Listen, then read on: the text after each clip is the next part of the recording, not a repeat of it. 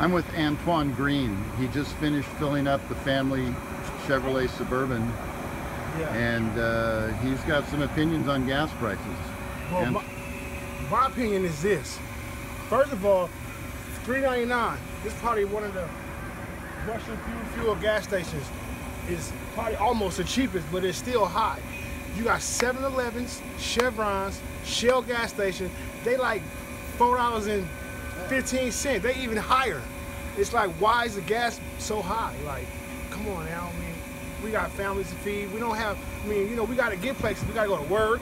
We have to go. Some people work don't even work out here in Stockton. They work in the Bay Area. Then you put you put gas in your car. Next thing you know, you only got half a tank. Then when you get to work, you got to put more gas in your car. You should be able to put gas in your car one good time and ride for at least two days, at least a day and a half. What do you think is going on? Why do you think they're rising? Uh, the economy. I think the economy. You know, it's like the economy is like probably it's probably the only way they can get money. I don't know, but gas shouldn't be this high. You know what I mean? So I wish they'd go down Thank you. fast.